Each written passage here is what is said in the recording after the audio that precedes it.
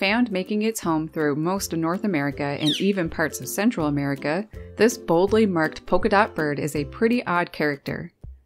Unlike most woodpeckers, northern flickers aren't resident birds. As the cooler, shorter days approach, they prefer to head a little more south for the winter. This means that if you are in their range, you could get to see these cool looking feathered beings over fall. Don't expect to find them on a tree hammering away, though, as you would other woodpeckers. Instead, look to the ground. Flickers don't really have the usual diet a woodpecker has of eating mainly wood boring beetle larvae. These guys prefer ants, and lots of them.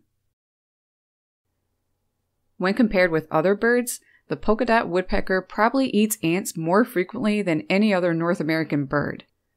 Most birds avoid these insects likely due to their stings or the noxious chemicals they contain, such as formic acid. All woodpeckers can eat them, though northern flickers simply just can't pass up on an opportunity to get in on this delicacy. They are the right bird for the job since they are perfectly equipped for getting at ants, largely thanks to that very long tongue.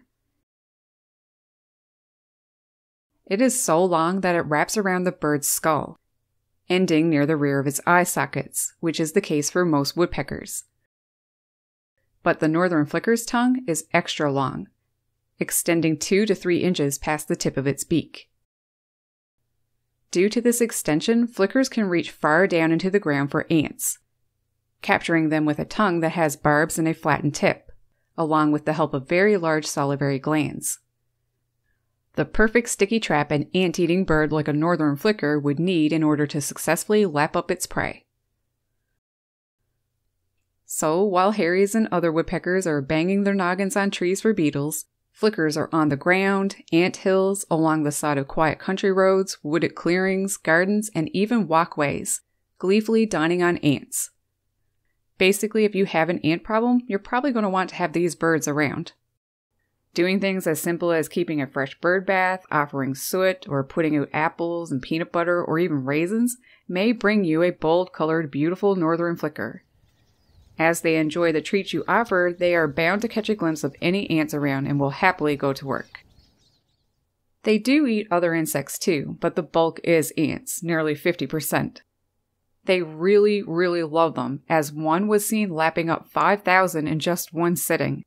But I guess since ants are really small and flickers pretty large, they would have to eat a lot. The time of year they truly gorge on them is over the breeding season, during which even their young are raised up on ants and their larvae and not much else. As many as 50 trips can be made throughout the day between both parents. A lot of ants are being consumed, which is good for the ecosystem. It's a delicate balance in which northern flickers play their own role.